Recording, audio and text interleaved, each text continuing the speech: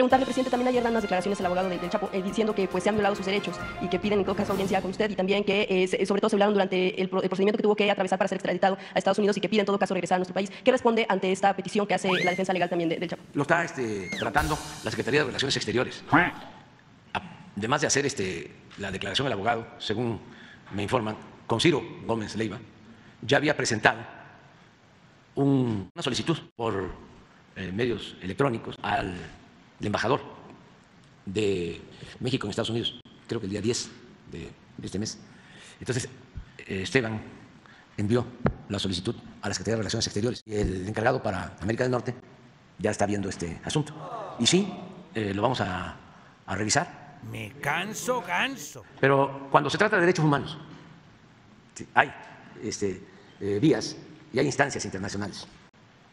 Entonces no es descartar, porque el principal de los derechos humanos es el derecho a la vida. Entonces, a cualquier persona se le tiene que garantizar ese derecho. Nada más, este, hay que ver si procede, no procede, si tenemos, como lo menciona eh, Marcelo, nosotros posibilidad de hacerlo, si tenemos facultad para hacerlo, pero siempre hay que este, dejar eh, la puerta abierta cuando se trata de derechos humanos.